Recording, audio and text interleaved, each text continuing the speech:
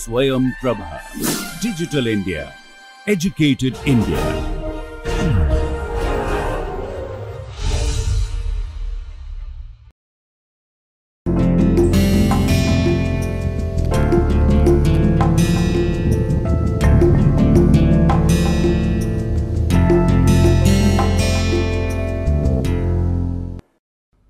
So, welcome once again to convex optimization and uh, in this uh, journey that we are taking together, uh, we are taking going on the main routes as well as taking little bit of detours which is fun I guess and we will continue doing so. So, today we will talk about saddle point conditions as I had promised in the last class, but also something I will do if I have time by the end of this lecture is to give you a list of functions and their conjugates. You can try to figure out whether uh, what I write down is correct or not, could be your homework. So, here again I am considering this problem minimize a function f subject to inequality constraints and x being equal to x being an element of x where capital X is an closed and convex set in Rn.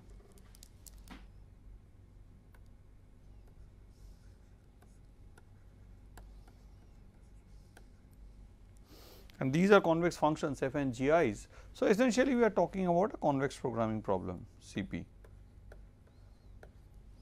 Now, these functions are not assumed to be differentiable. So, they could be just, but they are sub differentiable obviously they all have a sub gradient at every point and so this is quite a general form of convex function. Now, what could be x?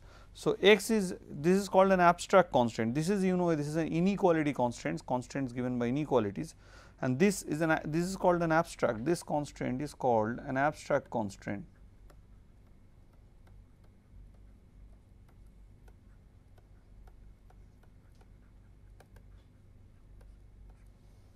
This is called an abstract constraint. So, what will be uh, the form of this x? Okay, x could be anything, x could be for example, r n plus that is it has a non-negativity restriction on the variable or x could be the Cartesian product of say n intervals in R or x could even be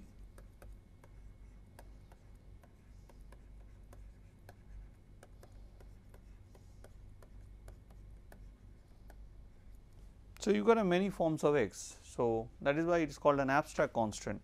So, all these forms can be written in this thing. There could be additional inequality constraints also which you just want to hide for some reason. Now, so that is why we do not have any particular structure on x when we discuss this. Now, the question is, is there a necessary and sufficient optimality condition?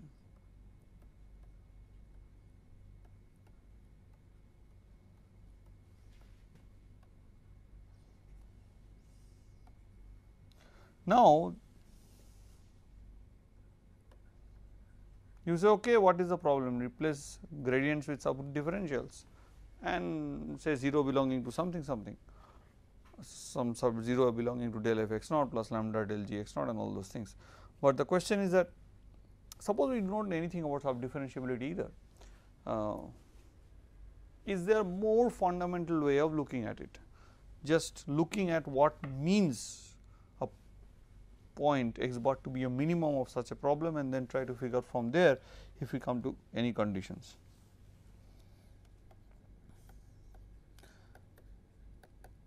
Now, let me tell you one thing that when a theorem gets discovered by in mathematics, it is done through a lot of guess and test means it is uh, it is not that somebody comes in the morning takes a cup of coffee and write down the writes a theorem and gives the proof. No, no, no, no, it, it is not like that. It is largely done by guess and test, someone trying to play around with something, doing this, doing that, then trying to gradually put some idea in, then later on refined by people and gradually a refined version comes and which we read in textbooks and which gives the impression that somebody had really taken a good cup of coffee in the morning and just came and wrote down the theorem with the proof.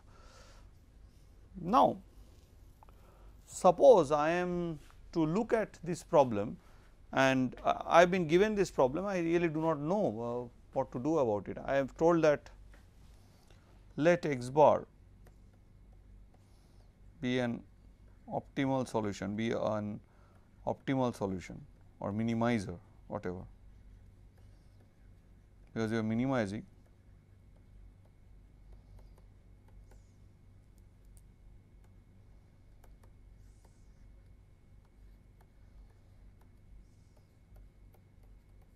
what condition x bar would satisfy.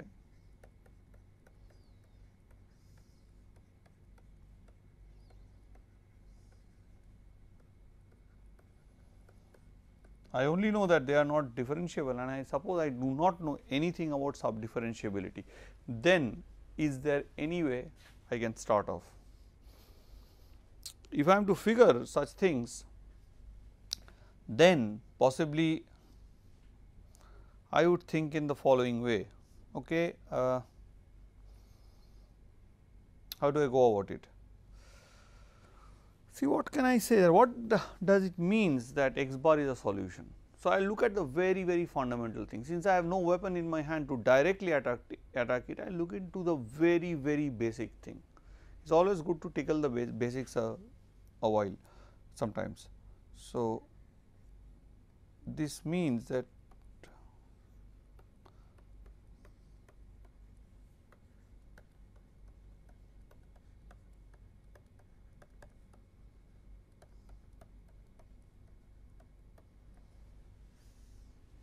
this system there would for every x of this form this would this is what is going to happen. So, f of x minus f x bar. If this is strictly less than 0 and you have that is you will for every x satisfying this this would happen, but any x which is satisfying this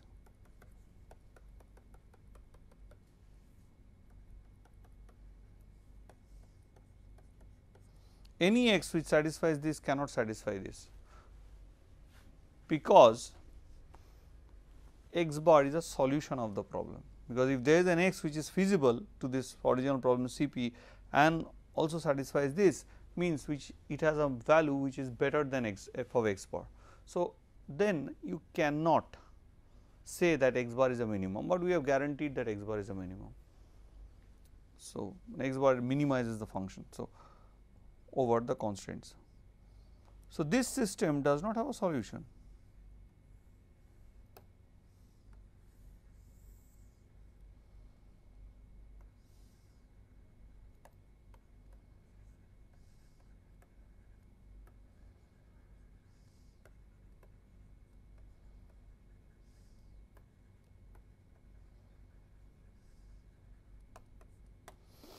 Now, what is the meaning of writing that why why I have written it like this?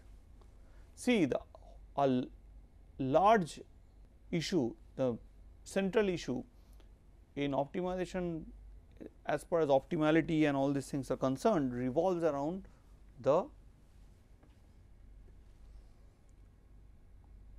separation theorems. So, now I want to put everything in a form when separation takes place. What I am going to try to show that optimality means that some intersection of some sets are empty or intersection of two convex set is an empty set they do not intersect. So, if optimality is reached so x using x bar I can define certain sets for which their intersection for those two sets would not inter intersect and as a result which you can you can apply a separation theorem. So, instead of going into the details I want to figure you I want you to figure out can you express this analytical fact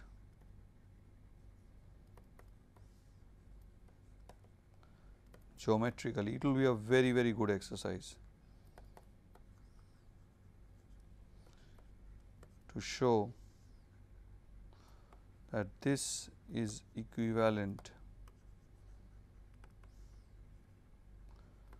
to the fact that two convex sets have empty intersection means basically you have to find those convex sets.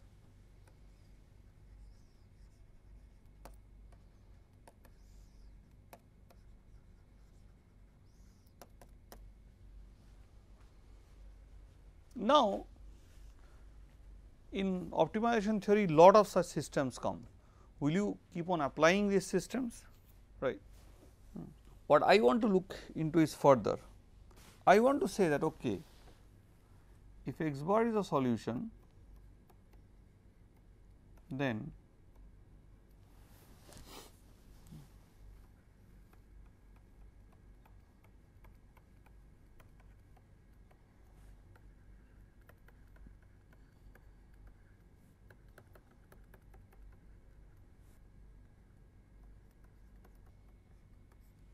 this system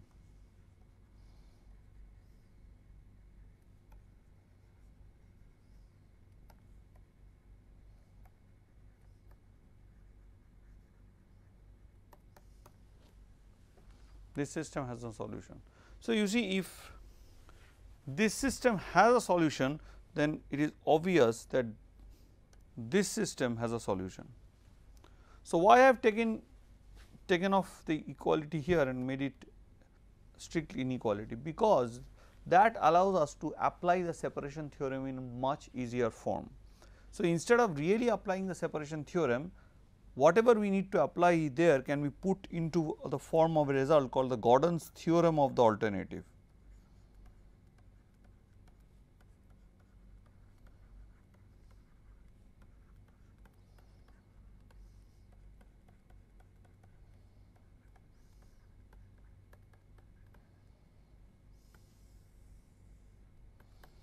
The proof of this result is promised for the next class, not now. The fact is that what is the theorem of the alternative? You the term alternative means there are at least two things. So, there will be two systems, system 1 which system 1 of equalities and inequalities.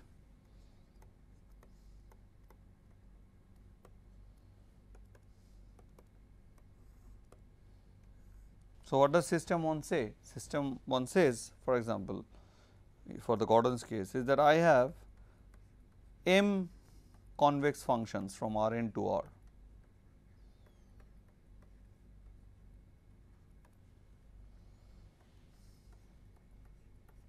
So, this system means there find an x for which all of these are strictly less than 0 all of these convex functions and there exists 0 not equal to lambda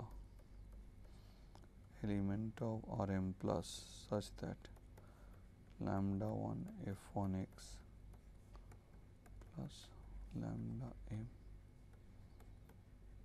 So, this theorem is a consequence of separation principles.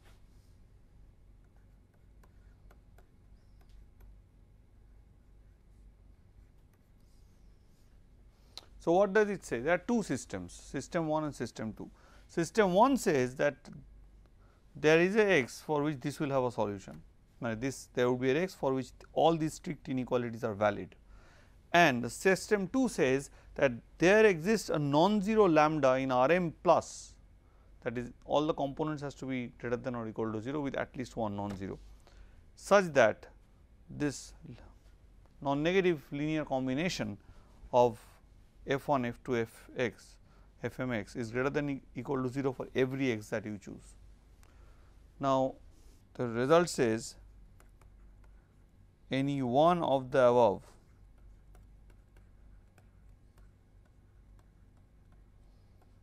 has a solution, but not both.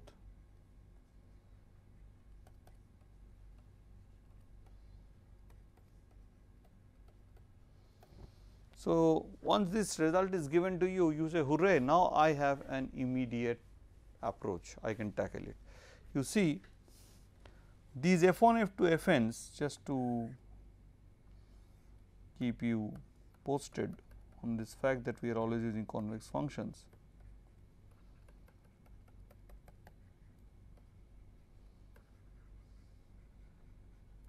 Okay. So, this means any of the system any if this system there is no x for which this is true then this must be true. So, in our system what we have is f x minus f x bar, f x bar is a fixed quantity right. This is a convex function and g 1 x strictly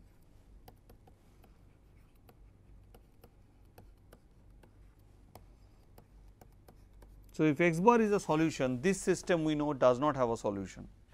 So, this corresponds to something like system 1 here in the Gordan's theorem of the alternative.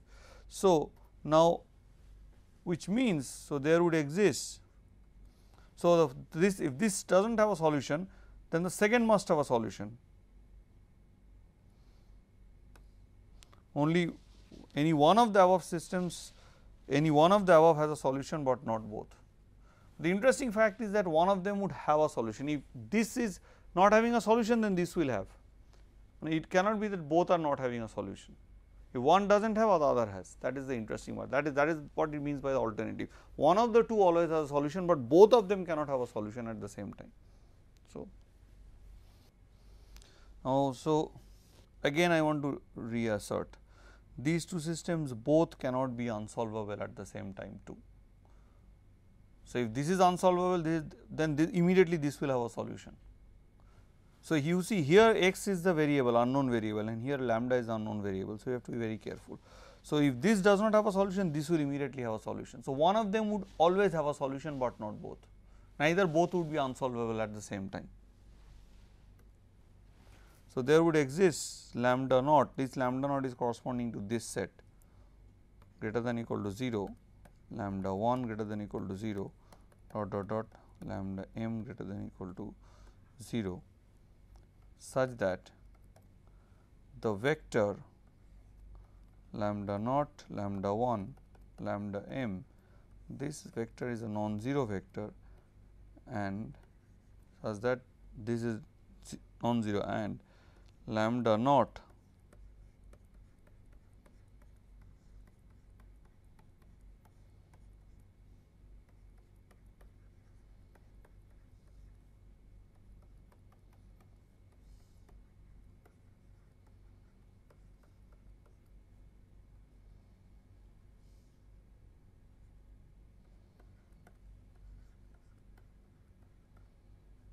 So, I have applied the Gordan's alternative theorem.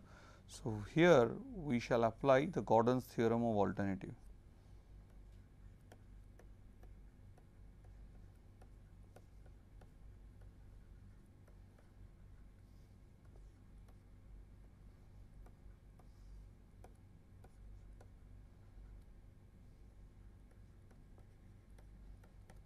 So, we are essentially applying this result always Gordan's theorem of the alternative.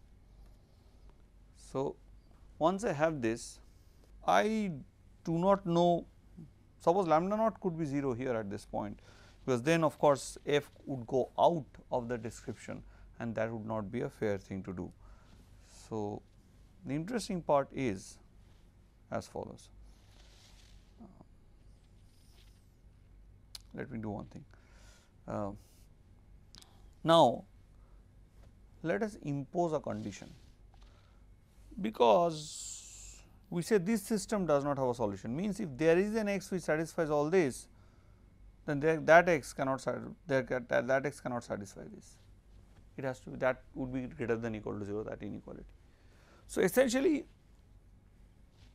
some way we are assuming some condition like the Slater condition. So, let us assume the Slater condition or the Slater constraint qualification.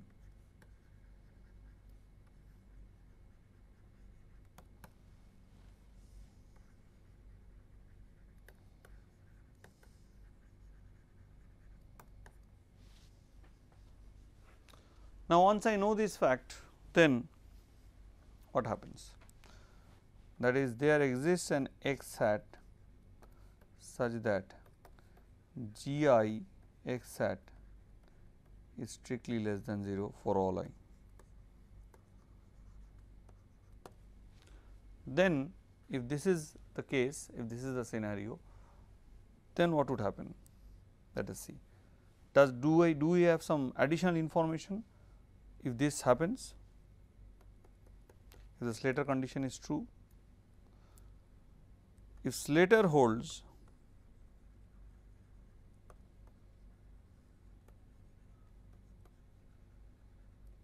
then lambda naught is not equal to 0. Why? Question is lambda naught is not equal to 0. Now, suppose lambda naught is equal to 0.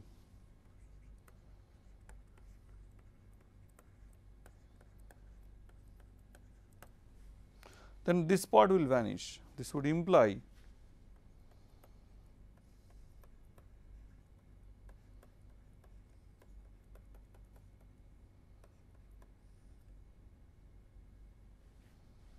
sorry there exists x hat element to x.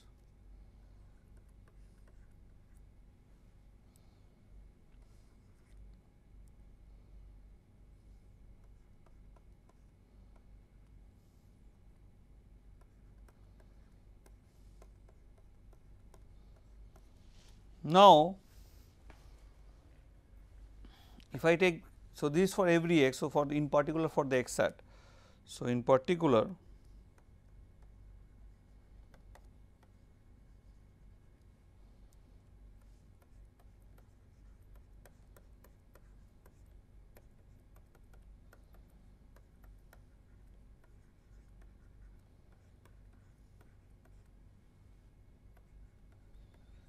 Now, you can see what is the game.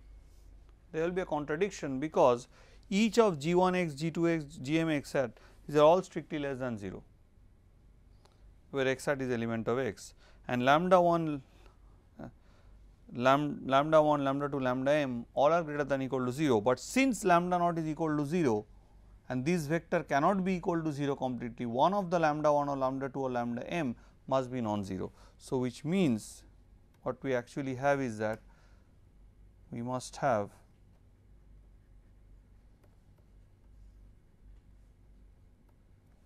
sorry lambda 1 g 1 x hat g 1 x hat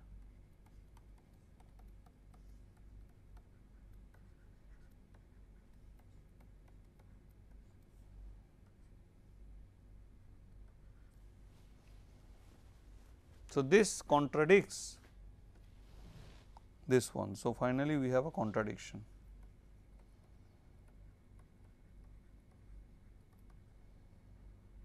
So, lambda naught is not equal to 0.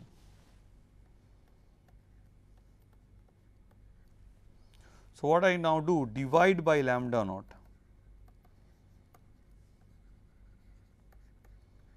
Lambda naught this fact this equation. So, what I get is the following then because lambda naught now has to be strictly bigger than 0 that is lambda naught is not equal to 0 means lambda naught is strictly bigger than 0. Then what we have now is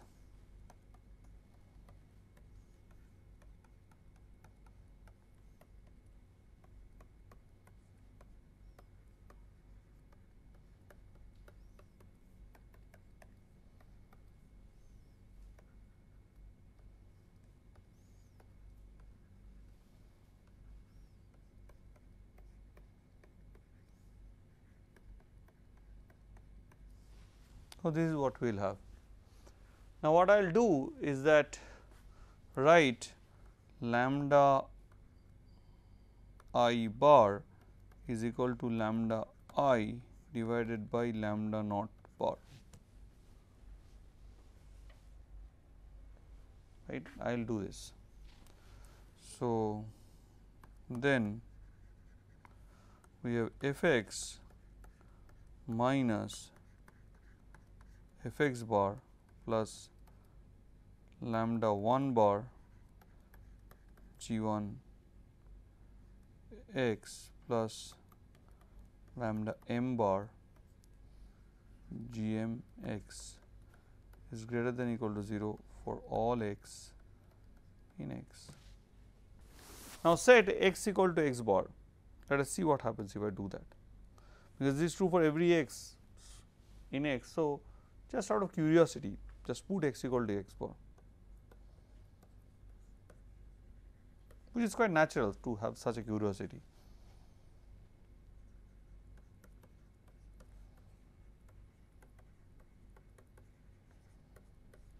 Then if that is so then this part will go. So, I will have lambda 1 bar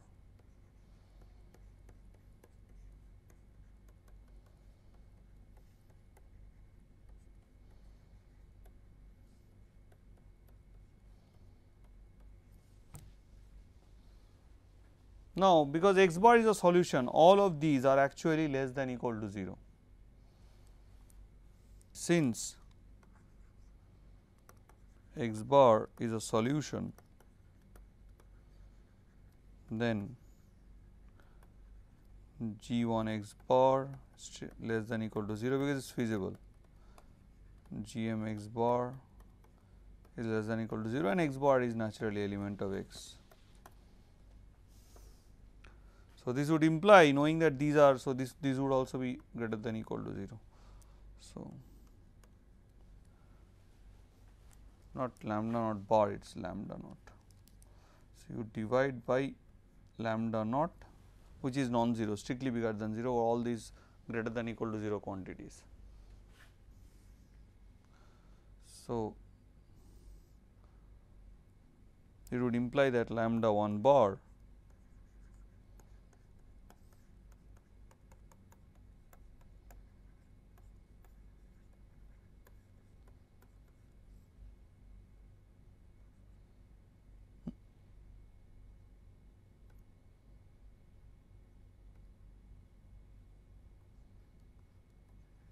So, I have these two equations to compare and this would result into the fact that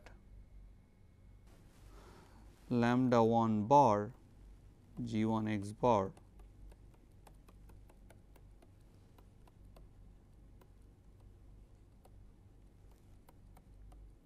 equals to 0. Now, your homework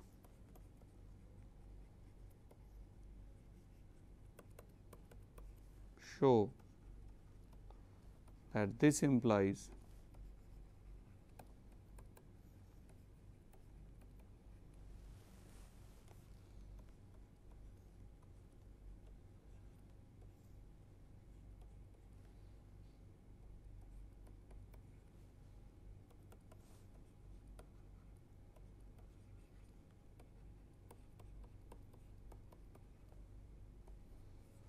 So, low I have got the complementary slackness condition which I have already discussed earlier while finding optimality conditions. So, you now think that we are actually on the right track because we have got something which we know and which is which you know is very fundamental. So, we must be on the right track. So, knowing something knowing that you are on the right track gives you certain enthusiasm. So, let us go back and go back to the formal equation again. So, what would you have is now f of x plus lambda 1 bar g 1 x lambda m bar g m x is greater than f of x bar. But I can because this is I can write this as okay as f of x bar plus 0 what, what, what, why do I write this? Because you see this part is 0 and this part has is quite similar looking like this part. So, I can write this as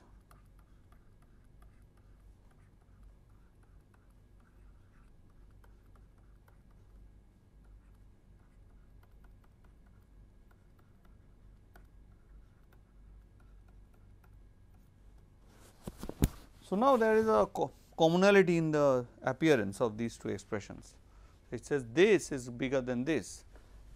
Now, this would simply say this can be short and short handed and we can say, write this as L x lambda bar where lambda bar is lambda 1 bar, lambda 2 bar, lambda m bar is bigger than lambda L of x bar lambda bar means we are defining. So, this is called the Lagrangian function which you also have studied when you have done your basic mathematics at your first year level I mean calculus Lagrangian function, but this is extremely fundamental to optimization. For, for our problem CP the Lagrangian function is it just takes the non abstract constant the inequality or equality constants and adds, adds them to the constraint that is an attempt to make a constant problem on constant, but here the abstract constant cannot be handled or pulled into the Lagrangian. It can be, but it would involve a bit more technicalities which we need not go and because without the technicalities we can get what we want. For the Lagrangian function is Lx lambda for any lambda where this is in Rn and this is in Rm plus. So, is defined as f of x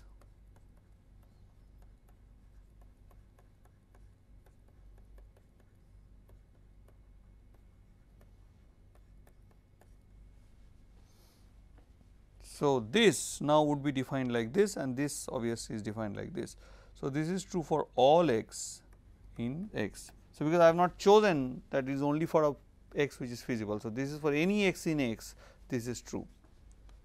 So, I have shown the existence of a lambda bar such that this holds. So, this and where this is what is called the Lagrangian function, but also look at this fact.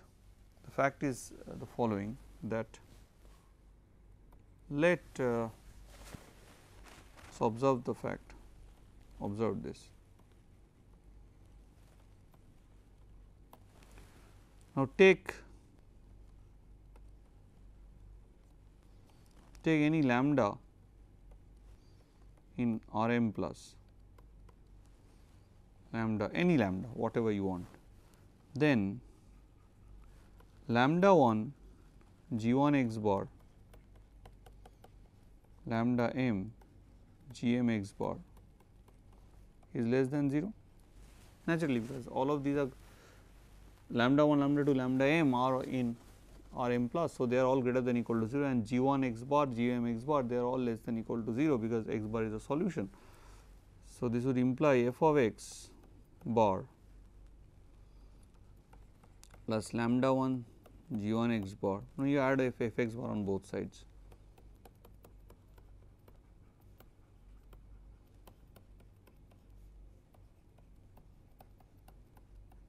right. Then you can say okay how do I make them look look alike.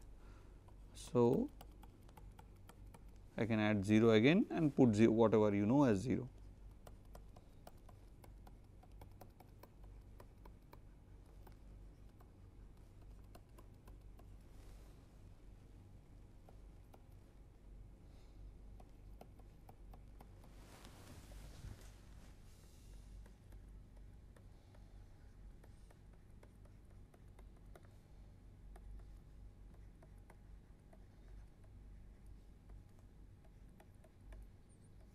So, what I have proved here is L of x bar of lambda is less than L of x bar of lambda bar for all lambda in R m plus. So, what I have shown that if x bar is a solution, then there exists a lambda bar where all the lambda 1 bar, lambda 2 bar, lambda m bar are bigger than equal to 0 and once I fix the lambda bar the Lagrangian becomes a function of x. And in that state it minimizes the Lagrangian function is minimized over the set capital X. So, once I fix up the lambda bar you see x bar minimizes this function. While if you look at this one it says that if I fix up the lambda fix up my x bar and I vary my lambda.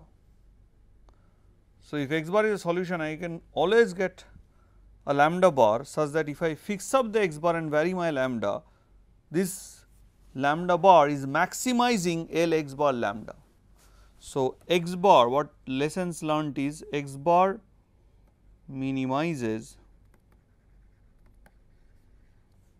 L lambda bar, lambda bar maximizes.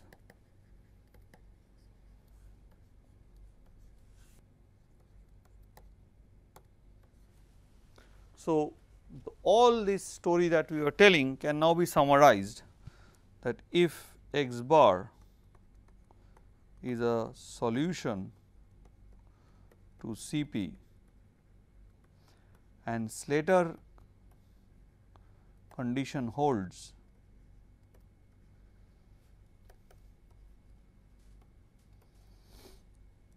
there exists lambda bar in Rm plus such that number 1 L of x bar lambda is less than equal to L of x bar lambda bar is less than equal to L of x lambda bar for all x in x and lambda is element of R m plus. And of course, we have to mention the complementary slackness condition. So, together this is called the saddle point condition. So, this is called the saddle point condition, this is a complementary slackness condition. So, this condition, condition 1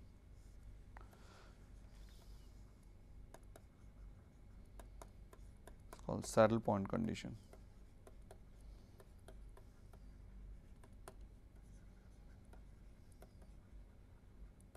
This is the most fundamental necessary condition for a convex programming problem. The reverse question has to be asked that if I have an x bar and a lambda bar for which these two conditions are satisfied, sorry, then remember here I have a lambda i bar, this is important not lambda i. So, if these two conditions are satisfied, I have an x bar in x for which these two condition holds can is x bar a solution to the original problem that is exactly what we need to prove now. Now, let us go for the converse of what I just said that okay, if there are points x bar and lambda bar which satisfies this what would happen is x bar a solution of the original problem. Now, x bar here is the element of x I do not know whether it satisfies g i x bar less than equal to 0 or not. So, suppose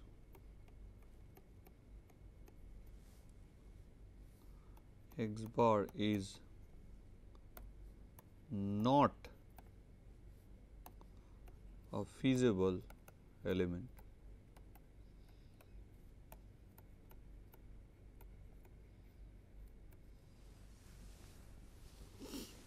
Now, this means that uh,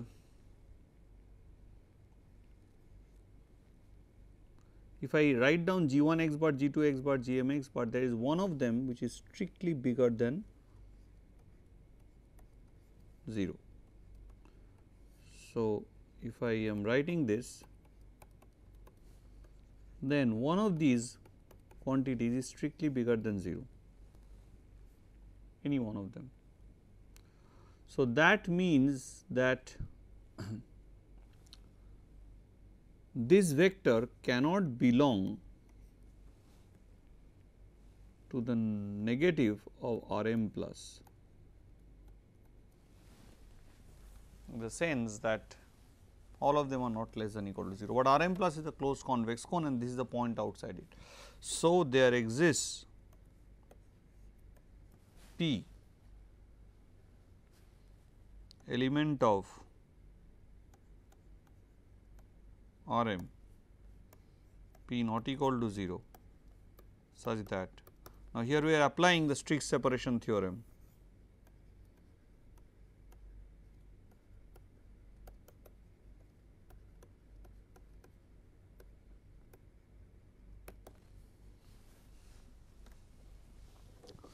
such that P of g x bar P and alpha. Sorry I would write and alpha element of R. So that P of g x bar is strictly greater than alpha is strictly greater than equal to P of v for all v element of minus r m plus. We had been using this when we had proved k naught not equal to k in the last class we had also used a similar result. Now, uh, let us see here you can put a equality also does not matter much. So, if this is my strict inequality, so basically p x equal to alpha is the hyperplane which is strictly separating this point g x bar with v. What I claim is that see v put v is equal to 0 because r m plus has 0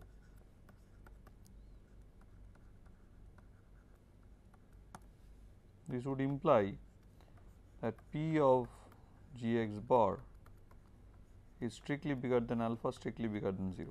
So, what you have proved here is P of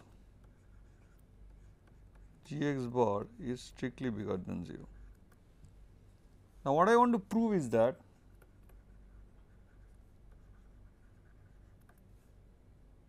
to prove that P of v is less than equal to 0 for all v in minus R m plus. Now, this means what? Now, suppose P of v is so there suppose suppose there exists suppose there exists v tilde such that P of v tilde is strictly bigger than 0. Suppose suppose this is not true then this implies P of lambda v tilde is strictly bigger than 0 for all lambda is element of r plus that is lambda for all lambda strictly bigger than 0 or plus plus. As you take any lambda strictly bigger than 0, this will be true of course. Now, lambda of v tilde is also an element of minus r m plus which is quite natural all the all the vectors would remain all the components would remain negative. So, I can make the lambda bigger and bigger and bigger. So, remember yesterday's um, arguments. So, it will be bigger and bigger and bigger and so if this becomes bigger and bigger and bigger. So, this value can then for certain threshold value of lambda would cross the value of alpha would become strictly bigger than alpha. So, as lambda tends to plus infinity there exists lambda naught such that for all lambda bigger than lambda naught p of lambda v tilde is strictly bigger than alpha which is which is not which is a contradiction because it breaks this fact.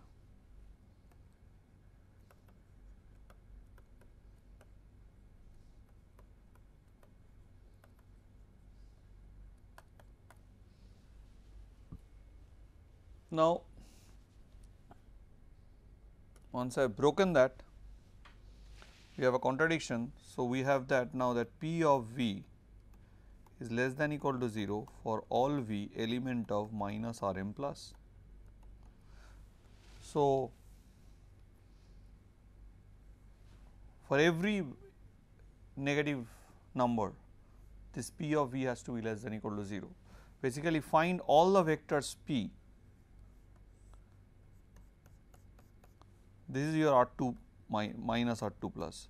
So, find all the vectors p which form an obtuse angle with elements here which means all the vectors here. Basically, so this implies P is element of R m plus. Now, what do I have? So, that now shows that P is element of R m plus and P of G x bar is strictly bigger than 0. But I have that L of x bar of lambda is less than equal to L of x bar of lambda bar. Now, so this is true for all lambda. So, L of x bar of p because p is also for all lambda in R m plus this is true. So, since p is in R m plus, so putting putting lambda equal to put lambda equal to p it implies that this is less than L x bar lambda bar. So, this would imply f of x bar plus p 1 g 1 x bar p 2 sorry p m g m x bar less than equal to f of x bar, but lambda 1 bar plus lambda 2 bar plus lambda 3 bar uh, lambda m bar this lambda 1 bar g 1 x bar lambda 2 bar g x g 2 x bar lambda m bar g x bar that is equal to 0. So, that part I am not writing. So, this would imply this cancels from both sides. So, this would be less than or equal to 0 which shows that p of g x this can be put into this form naturally p of g x bar is less than equal to 0. So, this is a contradiction. So, we come to a contradiction. So, proofs by contradiction are sometimes fun you know it gives you the answers immediately. So, which implies that what we have assumed is not correct. So, g of x bar is an element of minus R m plus which implies that x bar is feasible. Once you know that x bar is feasible then immediately you also know this equation L of x bar lambda bar is less than equal to L of x lambda sorry L of x lambda bar. So, finally, you will have f of x bar less than equal to f of x plus lambda 1 bar g 1 x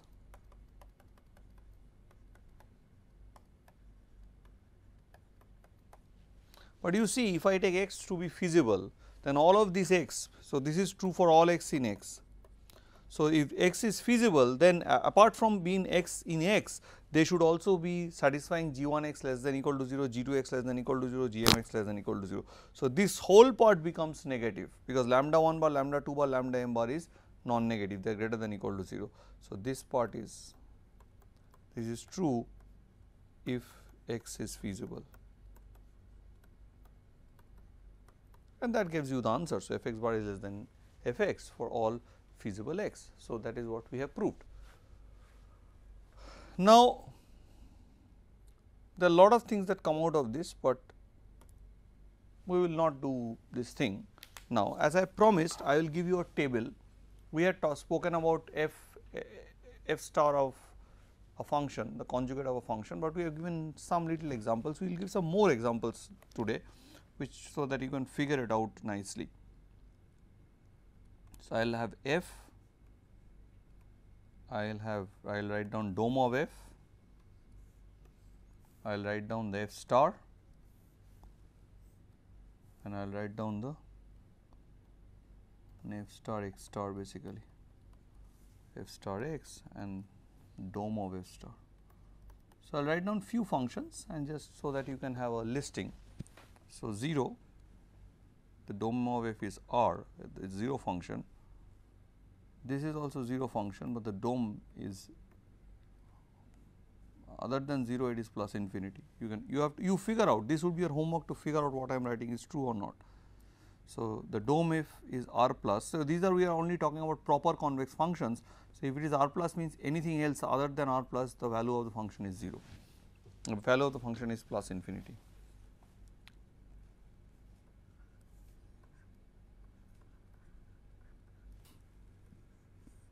So, x is in R, our x is in R.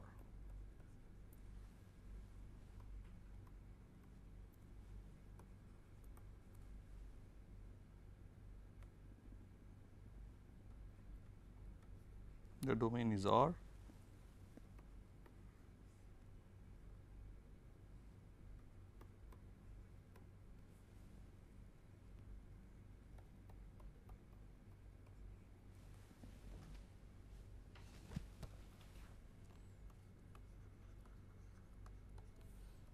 the domain is R plus plus obviously otherwise you cannot define log x.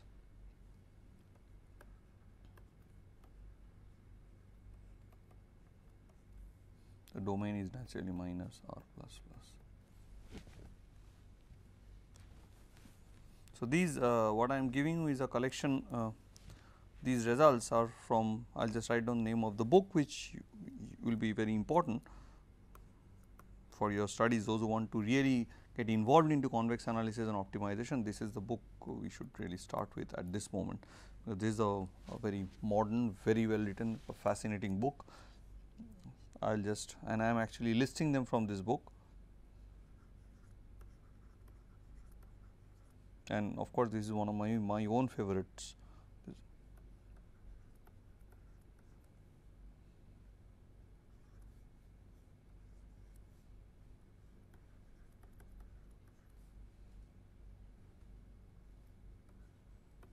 So, these are some examples what, what, are, what are this, this listing is given from the book convex analysis